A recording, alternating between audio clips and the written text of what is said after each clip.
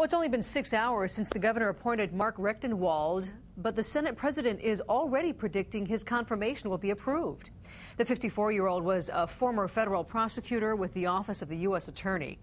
He served as director of the State Department of Commerce and Consumer Affairs and spent two years as Chief Justice of the Intermediate Court of Appeals. He has spent the last year as Associate Justice of the State Supreme Court. His extensive experience, in contrast to the governor's rejected nominee, Katherine Leonard, but experience is not the only reason his confirmation should go smoothly.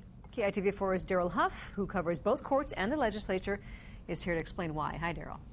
Hi, Laura. You know, that resume is important for the man who will have to manage the state's sprawling court system. But the other side of his background, his legal history and rulings, is the other reason Democrats who run the state Senate are comfortable with him. Like Recktenwald, several of the judges the governor has appointed have been former prosecutors, like Steven Alm, and they have a reputation for being tougher on defendants than judges appointed by Democrats. But the governor says that's never been her intention.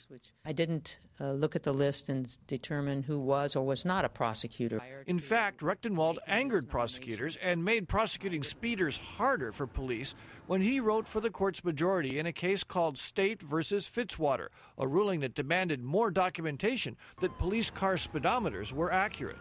I ruled uh, for the prosecution in cases, and I've ruled for the defense in cases uh, on the Supreme Court and at the ICA. He's also shown even handedness on environmental cases, although he wasn't involved in the Superferry ruling. In another case involving Waters of Life Charter School on the Big Island, Recktenwald wrote a majority opinion that gave regular citizens more power to sue to defend environmental regulations. Have an open mind, follow the law, uh, and be impartial and fair. I didn't talk with him about it in those kinds of terms.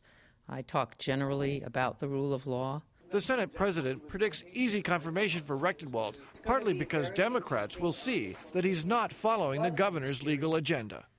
I think that he probably will display a very uh, well balanced situation in terms of how he leads the court in terms of the policies. And now another reason for Democrats to like Recktenwald's appointment, it's simple math. If they'd approved Katherine Leonard, Lingle would have had a majority on the five-member court. Recktenwald's confirmation will leave Lingle with two appointees on the court and a vacancy, which she may not be able to fill before leaving office in December. Laura?